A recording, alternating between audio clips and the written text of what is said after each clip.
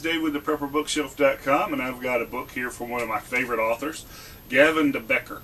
Um, as you know from previous reviews, I'm a very big fan of uh, The Gift of Fear. This book, Protecting the Gift, talks about how to teach your children about safety. Okay, practical solutions uh, for keeping youngsters safe in a day-to-day violence that threatens their world. Okay. Um, it's got, like from the back cover, how do I know a babysitter won't turn out to be someone who hurts my kid? What should I ask child care professionals when I interview? What's the best way to prepare my kid for walking from home, from school? How do I spot sexual predators? What do I do if my kid's lost? You know, lot, a lot of good information on how to raise your kids so that they are safe, so they um, understand that the world can be a dangerous place, but you know, not getting them where they're paranoid and sitting, you know, uh, you know, on the kitchen couch, afraid to go outside.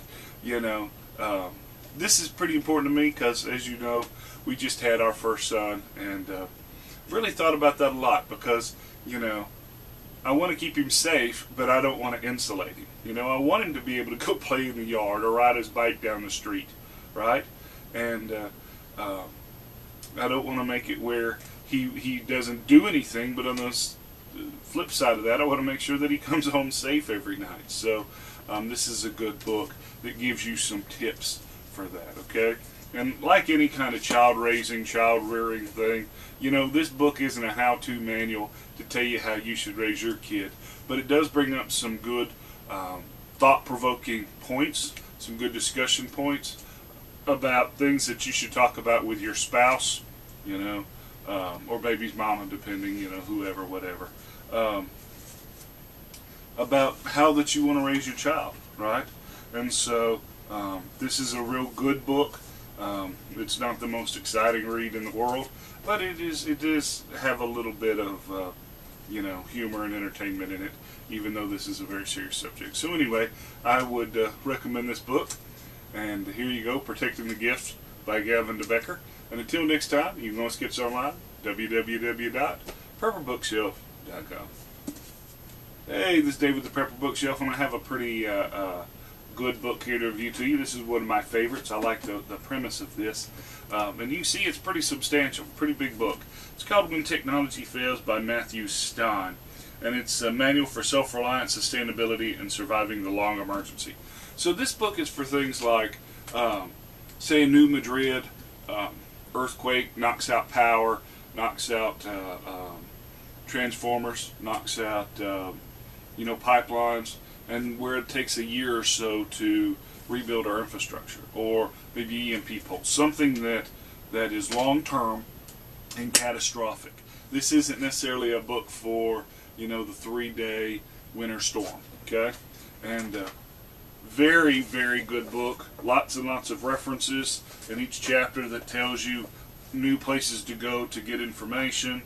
You know, lots of pictures, lots of illustrations. It's got charts, um, you know, construction diagrams, you know, all sorts of things. Sprouting chart for how long it takes to sprout your beans. Um, let's just go and I'll tell you some of the uh, the chapters. Okay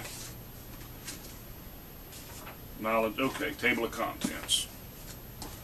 Uh, introduction to self-reliance, present trends, supplies preparations, emergency methods, water, food growing, foraging, hunting, shelter, first aid, when high-tech medicine fails. Got a lot of holistic medicine in here.